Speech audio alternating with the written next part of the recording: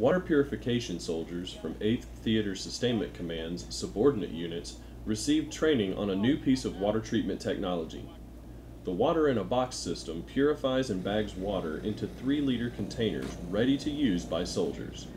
Uh, what we're looking at is a capability. Um, what we want to do is take this capability, put it out on a Pacific Pathways, let the soldiers use it, uh, let them support uh, the 325 uh, IBCT while they're out there, and then provide feedback on how we can make it a better system. This system will be very effective in the Pacific as it can easily purify water from any source.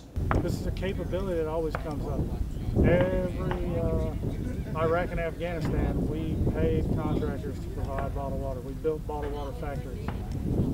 So this is something that we could put in APS, that we could build into our project stocks where the capabilities there, where it's government owned, soldier operated in the future, and it alleviates the contractor piece.